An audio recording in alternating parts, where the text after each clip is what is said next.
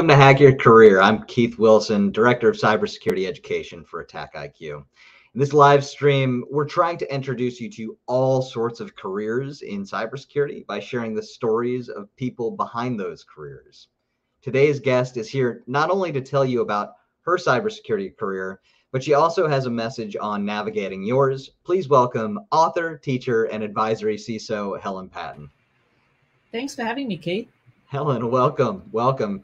Uh, and this isn't the first time that you and I have got to talk. We actually uh, we put out a great guest lecture by you uh, just a couple weeks ago, and it's all around uh, navigating the cybersecurity career path. Goes by the same title as your book. And I think you're a really interesting guest in the fact that not only do you have a great career in cybersecurity, like lots and lots of experience and, and lots lots to offer, and you also wrote wrote the book on navigating your career in cybersecurity. Mm-hmm. Why did you think that book needed to be written? That's a really good question. Well, first of all, I needed it to be written because I was, as my career progressed, I was mentoring more and more people. Um, that they were people who were students at university who were looking to get into their first cybersecurity job. They were mid-career people looking to do better at the role they were currently in and it was new leaders who were starting to introduce uh, new security programs into their organizations. And and frankly i just didn't have enough time in the day number one. So i needed to sort of mentor at scale and taking those questions that were commonly asked and putting them into a book was my way of of doing that. I also blog about it of course but um, i really felt that you know, people are asking the same questions over and over and over again. And I wanted to give a ready resource for people to be able to get the questions answered without having to buy me coffee first. That that was really the motivation behind it. Oh, I get that. Yeah, I mean, it's it's definitely you know, like you said, it's mentoring at, at scale. So, what what were some of those questions that kept getting repeated? What what were some of the more common questions you kept getting asked? Yeah, so for people trying to get into cyber for the first time, they were either coming up through a tr- what I would call a traditional educational path. So, a college student doing a cybersecurity degree, bachelor's degree, that kind of thing. And so they were like, you know what? We're hearing that all these jobs are out there, but we're I'm and I'm applying for them, but I'm still having trouble getting a job. It feels like false advertising that all the jobs are out there. So part of what I wrote about was how do you as a as a junior person with no experience how do you make yourself stand out from writing a, an interview for, sorry from writing a resume from doing an interview? You know how what does that look like? But also i'd have people who were mid-career wanting to get into cybersecurity for the first time and not wanting to have to go into a, a lower paid entry level job. So this question of how do you move laterally into cybersecurity was another question that i got lots and lots of of the time Another when you, example. When you talk be, about moving laterally into cybersecurity, are you yeah. talking mostly like IT folks that were looking to move into cybersecurity, or people completely different career paths? Completely different. It, it could be um, someone with a legal degree who wanted to get more into technology compliance, that kind of thing, or a business analyst. Um, I spoke to you know people who were teachers at the elementary school or the high school level who not teachers of of computer science, but just English teachers or music teachers or whatever. People just want people are, attract, are attracted to the profession. They just don't know how to navigate getting into that profession. Um, sure. and, and so, yeah, that was a really common question. Yeah, I could imagine when you're when you're you know when you've gotten mid career in one place and go, you know what, cybersecurity looks really cool how do I connect those dots from that's right. what I'm doing now to moving over? So yeah. So your book would help somebody like that then. Yeah, for sure. So we talk about the traditional career path and the non-traditional career path. If you're as old as me, you know lots of people who've taken a non-traditional path. Um, I'm actually not sure if there is yet a traditional path, but but let, yeah, it, it is different than if you're, you know, in your mid 30s or your mid 40s or your mid 50s or older, sure. wanting to get into cyber, than if you're just coming out of high school. The, the opportunity of how to get there is different. Mm-hmm. Yeah. So your your book helps. If I had to sum it up from what I just heard, then it helps those you know kind of coming out of college uh, trying to get into cybersecurity, Mm-hmm. or those even making a, a career change that they don't Yeah. work in cybersecurity but they're looking to move over. Um, what about those that have been in cybersecurity for say three to five years, five six years, something like that? You know, kind of midterm cybersecurity. Maybe they're looking to escalate, move to the next Yeah. level. Is there any advice like that in there? Sure, there is. So, one of the topics I talk about is making a decision about whether you want to be a manager of people, which is a different skill set than a technical SME who's going to For go sure. deep in the technical space. So, um, actually, all the way through the book, I start with you've got to know why you want to be doing security. If you're in security, you want to know, you've got to be able to articulate why you want to stay. And that's Is, is just is just for the money a good reason? it can be an absolutely good reason but it, but that answer is going to determine where you go next right so there's a lot of money to be made in ethical hacking less so and this is a general statement but less so in things like governance risk and compliance or training and awareness right Mhm. so if you're chasing money it's a different it's a it's going to take you down a different path than if you're there to um, as sort of a service model of protecting the community from bad things happening. That's just that that you know do you go into work for a startup or do you go and work for the government? You know those kinds of questions need to be answered before you decide where you're going to apply for your job and the, the answer you give is going to determine where you apply for a job right so yeah the, this sort of understanding your per, your personal purpose and how that translates to finding work is really an important question to ask Awesome. So I also want to put out there for those uh, watching the stream, if you do have any questions for myself or Helen, please put them in chat, and we'll see if we can get them addressed during the stream. Um, so how how is writing the book? How has that impacted your security career at all, or has it? It has actually. So, um, so I started by blogging, and the book was really an output of two or three years worth of blogging that I did.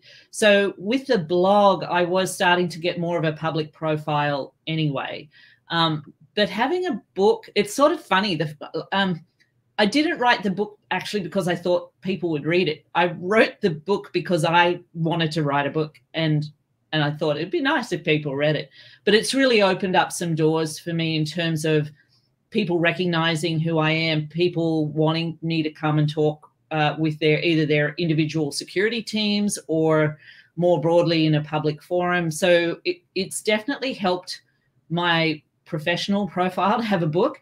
Um, but more importantly, people want to engage with me on these the, on the topics that were in the book. So it's helped me for my myself and it's helped me be a better mentor for other people because I've had this input from the community on what they agreed with or what they didn't agree with on the book. And Sure. to be honest, if I was writing the book now, I'd probably write differently than than 18 months ago when I was actually putting pen to paper, so to speak. Well, yeah, you've had time to collect more data points. Yeah, absolutely. So there might be a second edition. Who knows? I We'll was see. gonna say there, there's always a chance for a second edition or you know some other revision for it. Yeah. So or maybe a whole new book. Well, maybe. Uh, yeah, I haven't worked that one. I'd like to write another book. I don't know what on yet, so we'll see. Yeah, I now I, I would imagine those that are watching this that are maybe trying to get into cybersecurity or listening to this going, well, there's no way I'm writing a book about cybersecurity. I, I don't know that you would necessarily advocate that as your your way into cybersecurity, but um, maybe a goal you set for yourself after you spent a couple years uh, Yeah. doing the work, right? Yeah, I I actually would encourage people to get their thinking out in public, um, whether that's through a book or a blog or a podcast or a TikTok video, whatever the situation is. My journey started in the early 90s, and for many people, that's not where their journey is going to start. And so, my experience, while valid for me, is not going to be relevant for someone who's trying to get into the industry right now but their voice of what they're experiencing, trying to get a job interview, trying to navigate their first role, trying to grow through an organization is super relevant to other people and we need more voices in the space. Yeah. So I I would say, you know, don't feel like you've got to have the answer to everything or you've got to be expert at everything before you make your thoughts known i think that i think the more people we have talking about these topics the better it is for everybody yeah and i mean that that's a great point too is you can still be new and have thoughts and opinions on how things work you can still come in with knowledge that's um, right. and and you should constantly be questioning things anyway whether you're new whether you've been doing it for a while Right. So I think that's a that's a great practice, right? Of of continuously trying to evolve. Mm-hmm. Um, now you're currently an advisory CISO to Cisco and Digital Directors Network. Mm-hmm. Tell me a little bit more about this. What what do you do as an advisory CISO? Yeah. So I will tell you my my role at Cisco is my day job. My digital directors network is additional to that.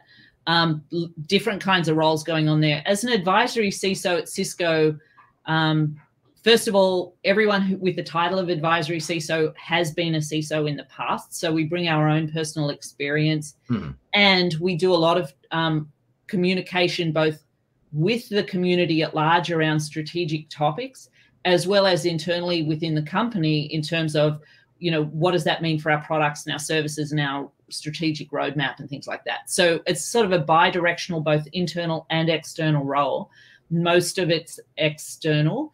Um, and it's an interesting role because I get to be in rooms with other security leaders or policymakers or uh, engineers, and we get to to sort of think through what are the issues of the day, but what are the issues that are coming down the pipe that we're going to have to be prepared for, mm-hmm. and you know think about creative ways um, to to try and address those issues. The reality in security is that the issues we're facing today may have different faces and different names, but they're often the same issues we've been dealing with for 10, 15, 20, 30 years. Um, and, give, and give so, me an example. You know, we still deal with issues of um, the, the Advanced Persistent Threat Actor is mm-hmm. going to be addressing vulnerabilities in our environment that have probably been there for a long time. And the fact that they're not patched is what's exploited. Sure. And that's not a new thing. That's been going right. on since the 90s, too, right? Uh, being able to socially engineer a phish to compromise a user, either for a ransomware event or a business email compromise, that's been going on since the early 90s too. So well, that's that's been going on for hundreds of years before there was electronics. Yeah, that was just yeah.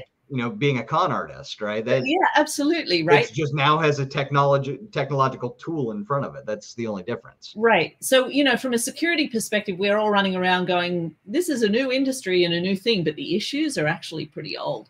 So mm-hmm. how do we think about that? How do we move the industry forward? You know, is, is part of my job and I, it's really exciting to me to be part of it. So what what was it that made you want to be an advisory CISO? I mean, did somebody approach you and just say, "Hey, we've got this opportunity. We think you'd be a good fit," or was it something that you sought out? Uh, yes. uh, so I was a chief information security officer at the Ohio State University for about eight years before I moved into this advisory role. And eight years is a long time to be an operational CISO. Uh, and I felt like I had achieved what I wanted to achieve in that role. And I wasn't really looking for another operational CISO role to immediately roll into. And at that time, I was also approached to take on this role at Cisco, and it seemed like a good next step for mm-hmm. me.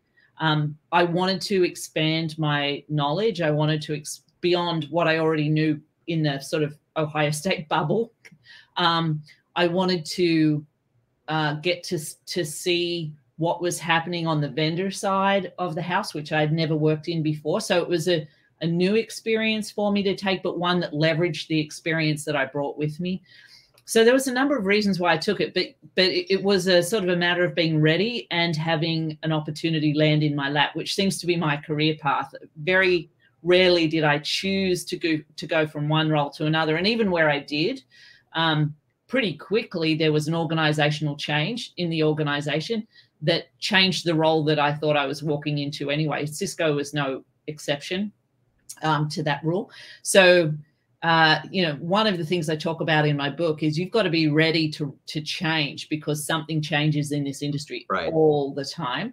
Um, yeah, n- nothing like having change thrust upon you. As it, you're, right. you're absolutely correct. It happens all the time. All the time, yeah. So so that was no different. So you know, it was a it was an opportunity that I was ready for that I didn't plan for. Is what happened. Okay. Yeah. Now, what what sort of what sort of challenges has this role presented for you that are and we can even let's compare it to the traditional CISO role yeah. that you had. What what are some of the challenges? Because you spent, you know, like you said, seven, eight years at Ohio yeah. State as the CISO there, and now yeah. I'd imagine there's quite a bit of difference.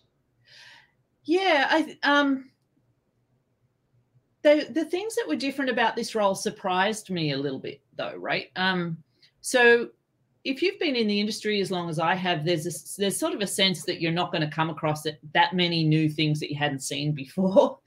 Um, that's not true uh, in in this role. I think one of the challenges of this role is I get to talk to a lot of really smart people, whether they're internal to the company or in the security industry at large.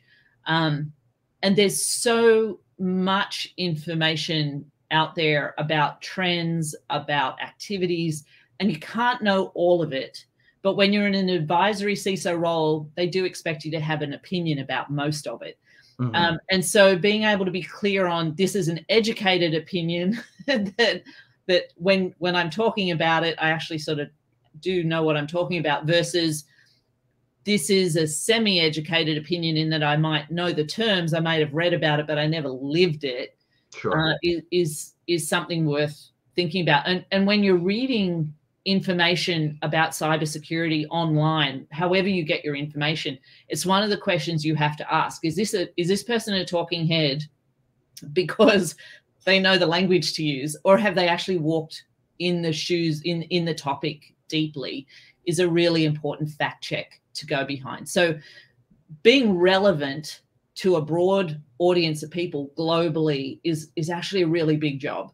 So that was a challenge for this job. I think more personally, things like I'm now in a single contributor role again, whereas I used to have a team of people reporting into me, mm-hmm. and I mm-hmm. miss having a, a, team of people reporting into me. Um, I have a little bit of survivor guilt, like when SolarWinds happened or Log4j. I didn't have to stay up at night trying to respond to that because that's not the advisory CISO role right. but I wanted to be, right? So so I sort of missed the adrenaline rush of doing incident response that I had in my old role that I don't have in this role. So every role you take has a has a pros and cons, oh, right? On the sure. one hand, I'm not staying up late worrying about something. On the other hand, I feel like I still should be. So, you know, yeah, yeah, I, I get that. Um, it's funny whenever you know I have I have a, a you know maybe a, a, day that's a bit more quiet in my calendar. It's always like, all right, what's going on here? what's about to happen? You know, yes. I, I, still kind of have that. Um, you know, before I did the educational piece for um, for AttackIQ, I worked as a sales engineer. So I worked right. on the sales side, and we were all. I always felt like we were putting out fires or just responding mm-hmm. rapidly to things. Absolutely. So now it's kind of like you know not necessarily fires, but at the same time, I'm still waiting for them. Yeah, absolutely. That's right. Mm-hmm. Now you're you're also an instructor at Ohio State University. Yeah. Now yeah. you were the CISO before that, and yeah. I think that's that's a really interesting outlook to have, and that we can share with other people. And the fact that you've worked directly with students, and you were also the CISO of the place that taught those students. yeah. So what what's some of the best advice that you you have for students? Let's say I'm I'm my junior senior year. Yeah. Uh, are internships worth it? Absolutely. So there's still a bias in the industry towards having practical experience in addition to formal education. There is still a there is still a perception in the industry that cybersecurity changes so quickly that it's really hard for formal curriculum to keep up with the changes in technology and the changes in the way we do security. So the the optimal outcome for a student who's going through college or a community college or even coming out of high school is yeah, go ahead and, and do the coursework. If you can get a certification, an entry level cert, but also getting those, those internships if you can do it really important. I would also say stay away from from internships that are not paid. Like th- there is no reason not to be paid for your internship. So it doesn't have to be i have to get an unpaid internship or i get enough money to live over the summer. Like mm-hmm. it, you can get well paid internships if you know where to look. Um, so the other the other piece i would of advice is start really networking and that can be networking in person with student clubs at your university or your community college or whatever but it can also just be online like going to local meetups if you're in an if you're in a location that has local meetups do it. Um, joining organizations like ISSA or ISC squared that have a, a really vibrant learning community can be really important and a, and a way to get those internships. Um, that, but yeah if you can get practical experience absolutely worth it. It will put you ahead of the the rest of the applicants who are looking for a role that haven't had that practical experience yet. Okay. Hmm. Now now let's move on my senior year, right? I'm getting ready to graduate. Maybe I've had I got, you know, an internship uh, throughout uh, throughout maybe I started out of high school and I was able yep. to get internships, right? Even better. Build that right. practical experience. Um, let's say I'm graduating now. Hmm. What what do you tell me? Is it is it good luck you know good luck out there or do you do you have specific things of all right now go search these job boards or is it networking or is it what it, i know there's no magic bullet but yeah. what what should students be doing so yes all of the above right so so I'm going to say networking, whether you're just starting out, whether you're mid career, whether you're senior, is such an important part of being in the security profession. So build that build that uh, network early.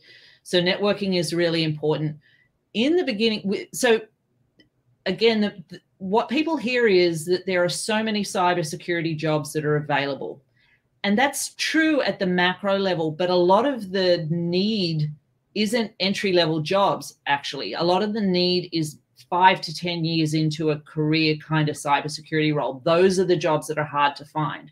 Mm-hmm. as a hiring manager if i put out an, a job rec that says here's a cybersecurity job and it doesn't require any experience you're going to get inundated with candidates. So again having that internship is going to be something that differentiates you. Um, but also having a personal connection to an organization if not the hiring manager is going to be super useful.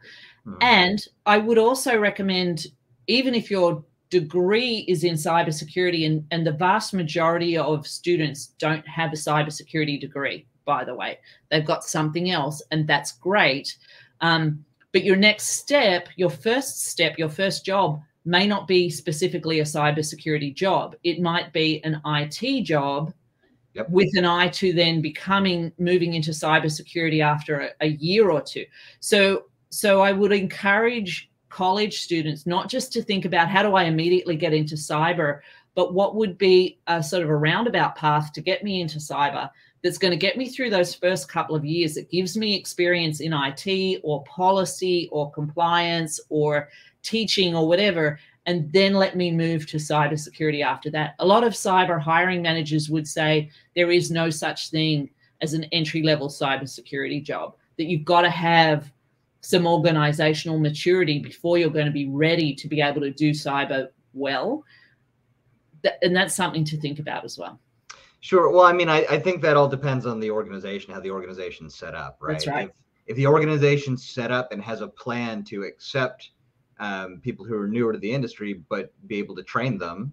Yep. Right. They may be able to pay less, yep. but with the promise of like, well, we're going to educate you and, and, bring you up. Yes. Or they need to be prepared to pay more to get those more the the people that have gone through those types of programs. Yes. The, that are more you know that have become seasoned because of that. Right. So there tends and and so again it goes back to what's your motivation for doing cyber and what kind of organization do you want to work in, right? It tends to be bigger organizations that have the the size of cybersecurity organization that they can have an entry level job, an entry level role available. So you're Mhm. going to be looking at bigger organizations, maybe, maybe for your first job, or you're going to go to a smaller organization, but know that you're not going to have lots of mentors around you. You're going to be the person learning on the job, and that's okay. But also, they probably won't pay you as much. So, again, what's your motivation for cyber? And if it's money, that's going to have an impact on this too. If it's experience, you can get experience in lots of places, but it may not be specifically a cybersecurity job that you're going to go for in order to get that experience first.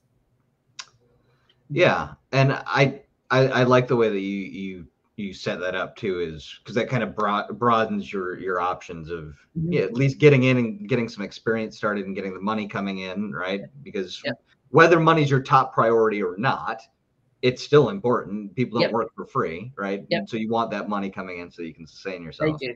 And that's that's almost the route that I, I I was doing home computer repair was like the first thing I did. And I was doing that while I was still in college. That's right. And then I did the help desk. You know, help desk is a great stepping stone for for getting into security because security you, there isn't really a security job where there are few security jobs where you're focusing on one kind of technology or one business process. Right. usually a really good security person has a really broad understanding of how the organization works and there is no better place to get that than on the help desk. The help desk because you're, you're so getting help desk can be a really great stepping stone into cyber yeah well hel- help desk you're going to find out about things that break in your network that you didn't know were possible because just that's what end users can do. Like you you just get surprised and you go oh Mhm. i didn't know that was a thing. And you go learn more about it and you go oh yeah so that's how that happens. Um another another step that i took that i also recommend to people because i don't see enough people do it as a pivot into security is working in uh, support for vendors so you know like AttackIQ opens up a support position or my first was with uh, internet security systems. I worked in their support department right? So that got me uh, in kind of that was my pivot from it sort of stuff into security was that point. And uh, that that really helped me. And I've, I've seen other people take that path as well where they come in with a vendor into security because it introduces you to multiple types of right? I'm, I'm now talking to different types of enterprises with different types of security problems that either i know and i can help them with or i don't know and i got to look up and i'll get get help. All right. So helen um i know we were we were breaking up there. Are you you able to hear me now? Yeah you're coming back now. Sorry about that. Okay. Okay. Great. Well, we're we're just about wrapping up anyway. So Helen, thank you so much for being on. Um, for those of you who are listening, Helen has a book called Navigating the Cybersecurity Career Path, uh, available pretty much everywhere books are sold. Correct? Yeah. Yep. So we'll, we're gonna go ahead and we'll go ahead and put up the the link in the chat for you as well. Um, so a couple things. So if you want a chance to win that book, keep an eye on our social media channel. We're going to be giving out a free copy uh, at some point later today or later this week. Uh, so keep an eye on AttackIQ social media for more information on how to win a copy of Helen's book. Um, also coming up, we've got Academy Live in New York City that's coming up July 14th. Sign up for that, you can go to attackiqacademy.live. We'll also put a link for that in chat.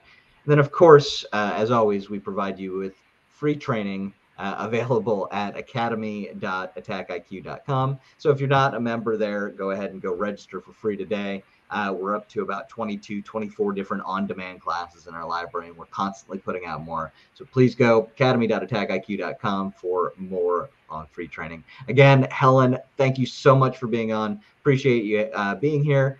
Danielle, why don't you take us out? We'll see you guys next week.